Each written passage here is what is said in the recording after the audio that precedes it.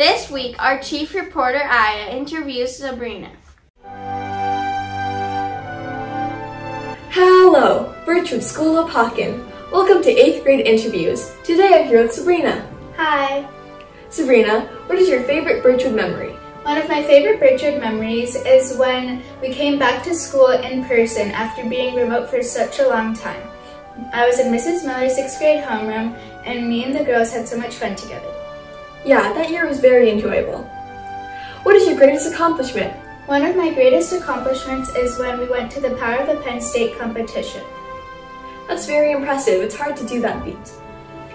What advice would you give to the younger students? My advice would be to take time for yourself so you don't get stressed. It can be hard to manage schoolwork and extracurricular activities. And lastly, what do you like to do in your free time? I like to paint, read, write, fence, which is a type of sword fighting, and I also enjoy playing with my bird Kiwi. Do you have any pictures? Um, yeah, I have a video.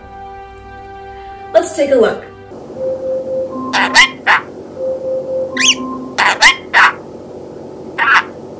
Thanks for watching, and enjoy the rest of the BNN.